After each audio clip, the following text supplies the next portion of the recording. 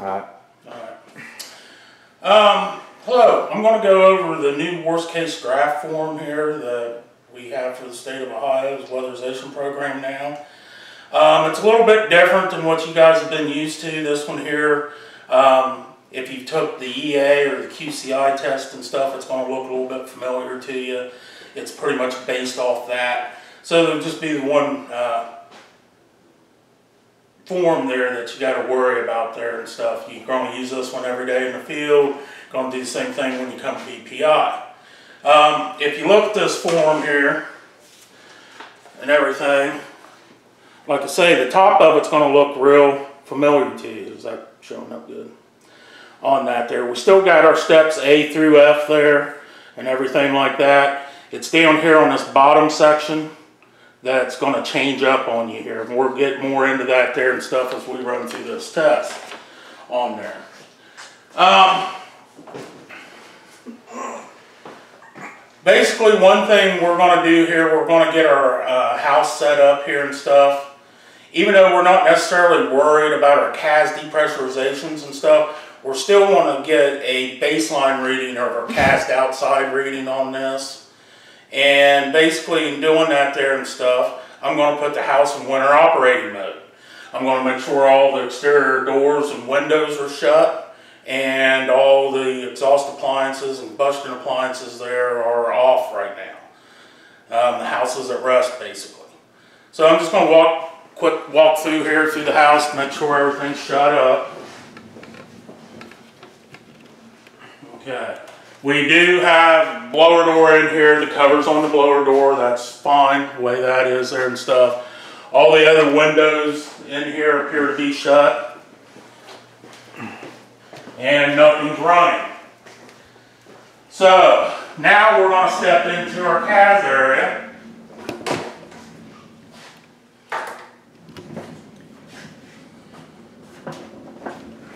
And this is even telling me still how to hook up my hose here on this. So if you're using DG700, it's going to be pretty easy. I'm getting a reading of CAZ with reference to outside on this.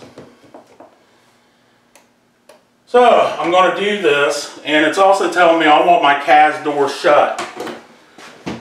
So I'm going to shut my CAZ door.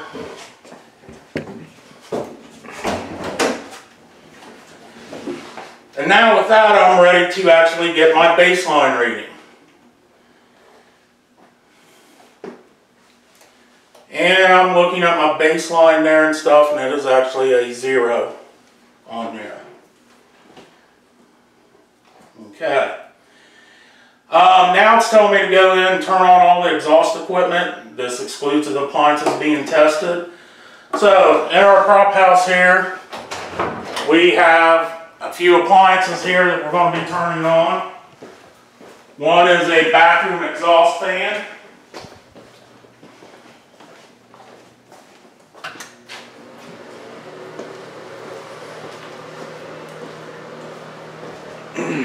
the other one there has been a clothes dryer.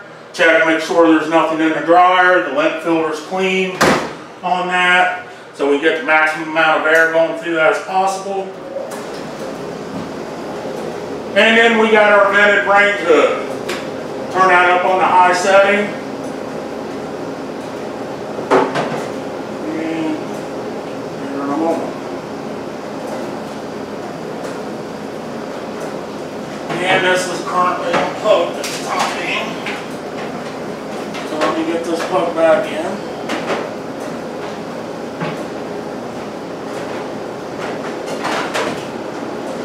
All right.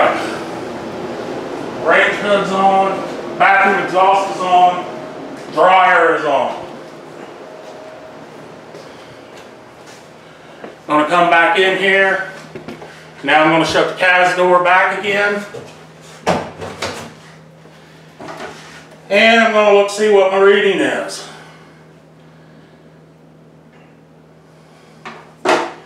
And it appears that we've got a negative 0.5.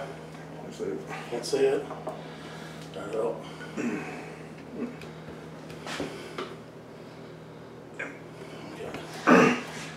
So it looks like it actually really jumped up there about a negative 0.7, so put that in there. Now look at step B. I am just opening up the CAZ door.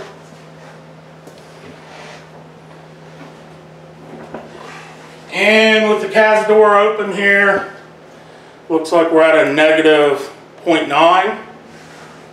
One. All right. Now I'm going to turn the air handler on on the furnace. Again, you've got a uh, thermostat here. Um, it's got air conditioning set up on it. So it has a fan on switch. Just click that on.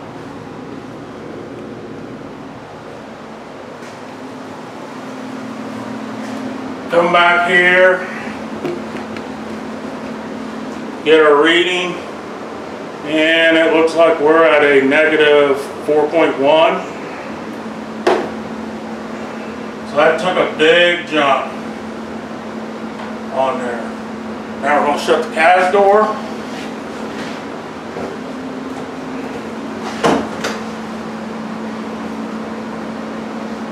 And with the CAZ door shut, it looks like we're getting a negative 3, 3.1,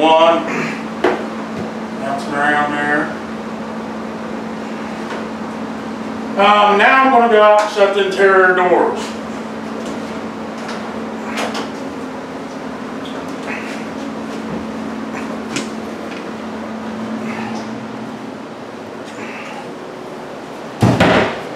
Shut that closet door, shut our door, and shut this door here.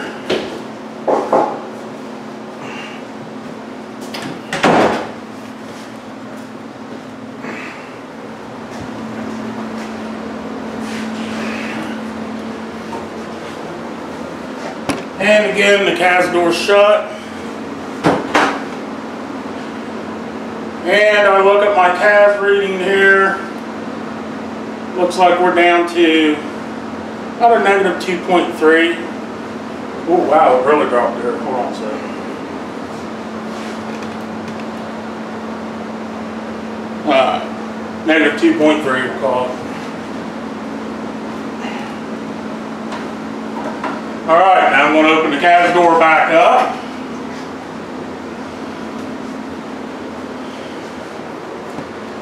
And with the CAZ door, it's a negative 2.7.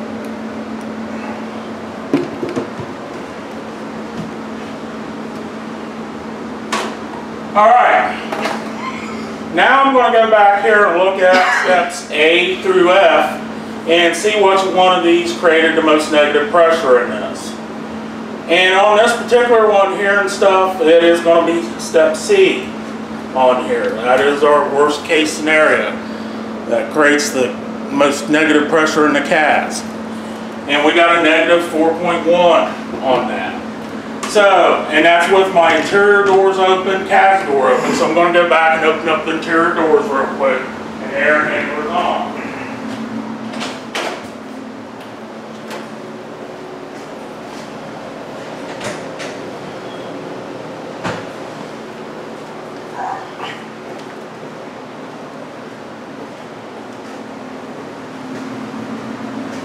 Kind of verified my reading there. I'm reading about a negative 4.2, pretty close to what we had the first time around on here. Now, this is where this is really going to differ from what you guys have been doing in the field there and stuff. We've got two different sections here, okay, on this. And basically we got one for cold vents. That is for appliances that's not um, in operation at the time. For instance, a furnace in the middle of the summer on this. And then we have one for warm vents and domestic hot water tanks, okay? Um, basically, those are for appliances there where the heat setting is turned on on it, okay? Hot water tank's gonna be turned on 24-7, 375 days a year, so you're always gonna use this one here for your um, hot water tanks. And basically what that's telling me there, what I want to do is fire my appliance. I'm going to check for spillage at two minutes. okay? I'm not required to take a draft reading now with this form, just a spillage test on that. But I also want to measure the CO in this five minutes in there. And that's coming following the SWS and BPI standards on that. So, first of all, one thing I'm going to do, I'll get my phone out here. And get me a stopwatch started. To fire my hot water tank up. Let it off. And basically I'm wanting to check for spillage at two minutes with that. One thing I like to do is hold my hand up here and stuff. I can feel the moisture and heat and everything coming off. And you can see here all the moisture that's on top of that water tank. Okay? Um, that's spilling right now. Another good sign where you can see these cromlets where they've been milded there around the water lines. That this thing has had a spilling issue in the past. So like I say, I still feel the moisture heat on the back of my hand. I'm not going to worry about using the mirror right now until I get close to two minutes or I quit feeling any um, moisture and heat on my hand. So we're coming up right on a minute for this.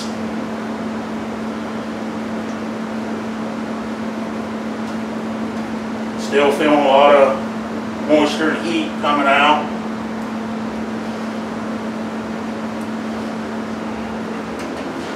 Put that in there, you can see where that's fogging up. Okay. Uh, still got about 45 seconds left.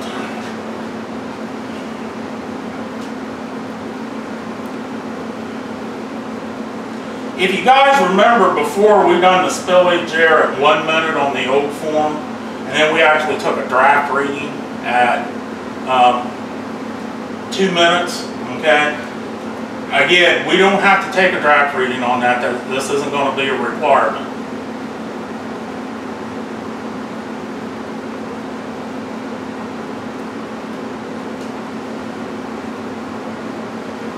But it's definitely good there for diagnostic there and stuff to let know. So coming right up on two minutes there, and this thing still failed. We still had a lot of spillage going on. I'm going to go ahead and leave my timer on on this, okay? Because the next thing I want to do, especially as the energy auditor or the heat tech or anything, I want to get a CO air-free reading, okay? Um, that's, again, a requirement there, BPI, that's what's in the NFPA 54 on there. You're still allowed to use the as measure on that. I just recommend for you guys, especially that's coming to take the um, BPI EA field test there and stuff, and kind of get used to that air-free measurement. And basically, I've already had my analyzer warmed up here and everything. Timer's still running. I want to measure that CO at five minutes. I'm going to go ahead and stick my probe in there. I don't want to wait till right at the five minute mark because it's going to take a while for those flue gases to get pulled up through this um, line and everything there and stuff. So.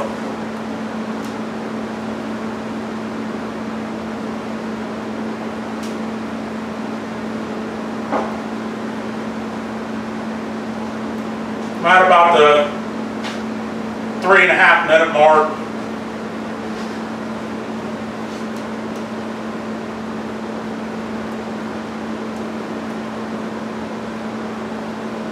Basically what the CO air free reading is, that's just removing the excess oxygen that's left there in the flue gases after combustion there and stuff. It's a mathematical equation. And most of your analyzers will be able to do that. Your Bacharachs typically come up here and have a CO with another O in parentheses. That just means it has the oxygen removed out of that CO reading. That's a CO air-free reading on that.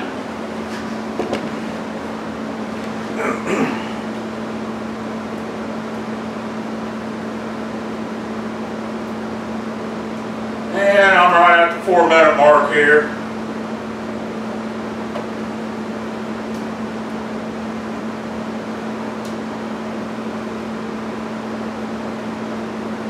like I say, if you do plan on using the as measured reading on that, make sure to note that on the worst case draft form as to which measurement you're using. It does make a big difference. So.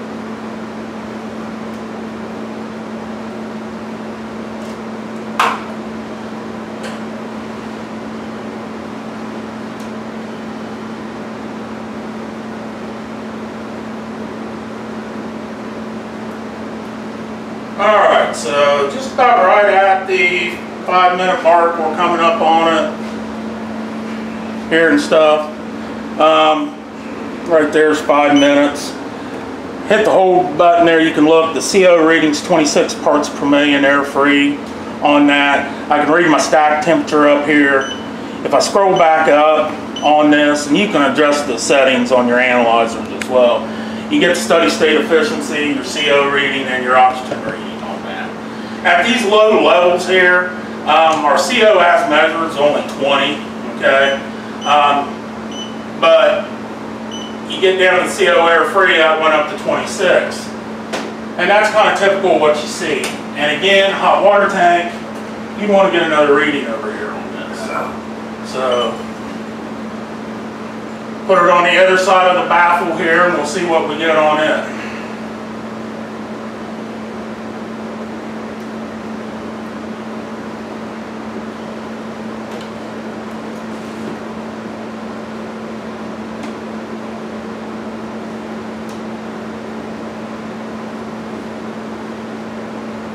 And I don't have to nother five minutes on I just kind of want this to kind of level off a little bit because this thing's already been firing there and stuff, so.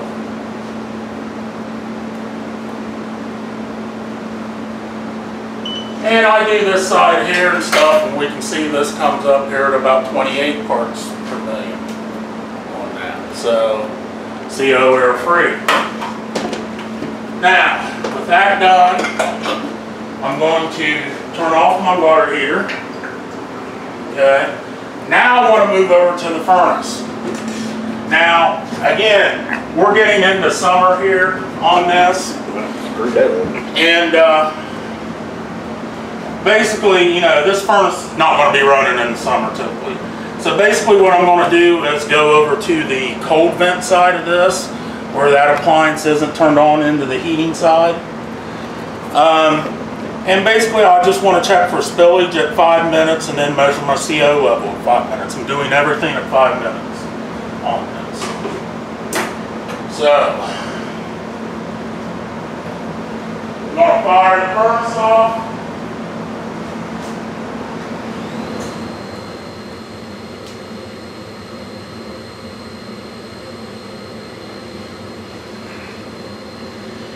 And this thing's going through its purge cycle right now, so I'm going to wait till the burner actually lights off on this and uh, start my stopwatch again there. And being this is commonly vented with the water heater, I can check for spillage at the draft diverter or the water heater, okay? Because this is going to be the path of least resistance if this thing's going to backdraft. This is an 80 plus furnace, it has an inducer fan on it those flue gases aren't going to go back through that inducer fan. So burner just lit off here. Get my analyzer over here. Kind of ready.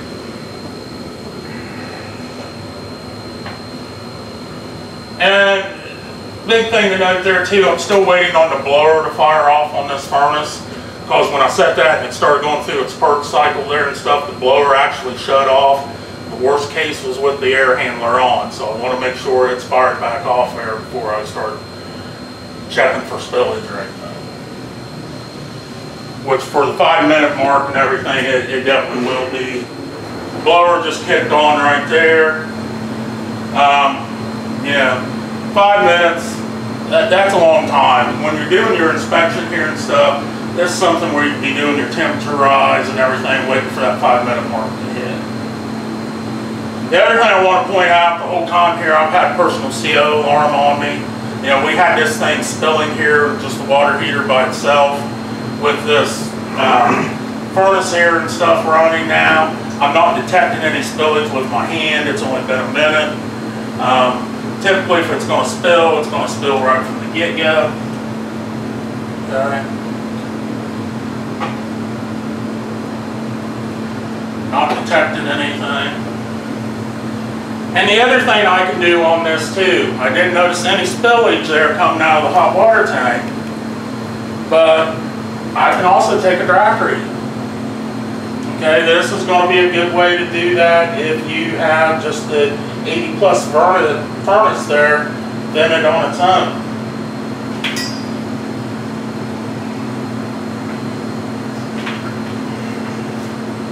Again, I'm still only at the two minute mark, so.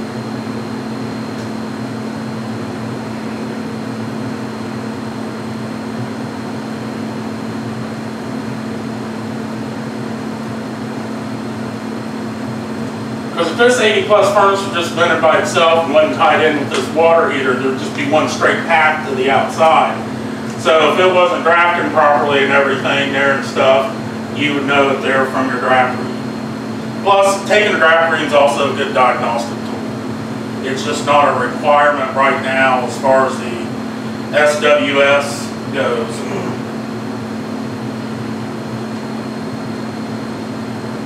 If I was a heating contractor or heating technician, I'd definitely want to take a draft reading on every appliance on that. I'd also want to do it as a, uh, you know, the inspector and the QCI. I'd like to know how well that appliance is actually drafting.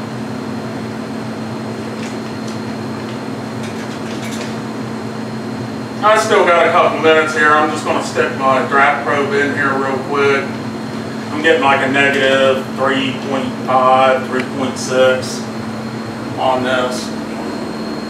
So, I mean, that's showing me that that's drafting pretty good. I'm going to go ahead and wait until I get closer to the five minute mark.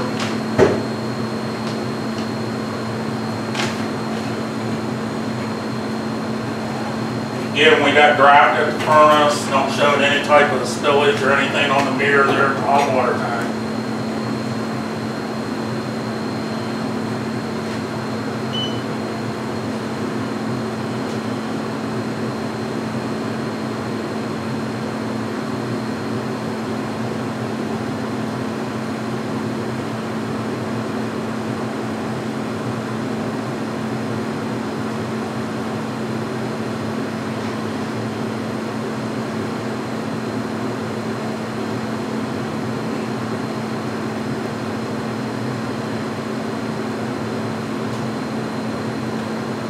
And I'm getting really close here to the five minute mark. Gonna go ahead and get a reading. Yeah, I'm getting a negative 4.4 on there for draft reading. Okay. So that's telling me that thing's drafting pretty good. I'm gonna go ahead and stick my analyzer probe in here to get a combustion analysis reading on this.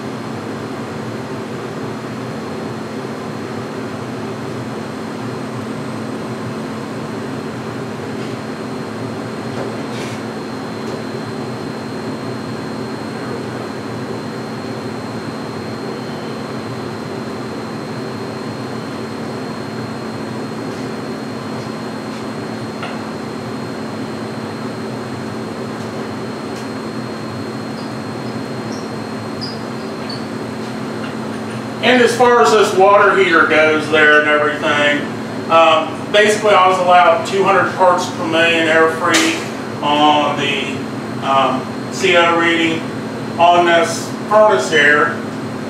Things I'm right at the five minute mark. My air free reading here is 299, okay, on that. Um, scroll back up here, I'll show you what the regular CO reading is. It's 190, okay, on that. That's CO as measured. So you can see the difference on that. Like I say, if you're doing CO as measured, please mark that on the form so people will know that. I don't believe the state is going to require the crew to do the combustion analysis on each unit, but it's definitely going to be required for the energy auditors and QCIs and heat techs. So. With that being said, I'm going to turn off this furnace.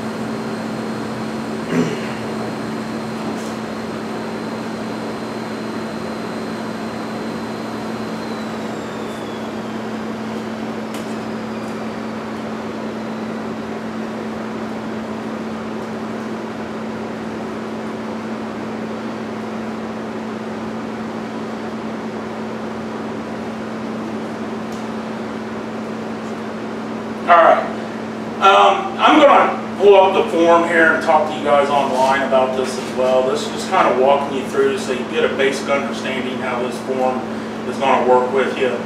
It's pretty easy, just like the original form. If you have guys actually follow the form, it's telling you exactly what to do. So, with that being said, this is going to complete our test.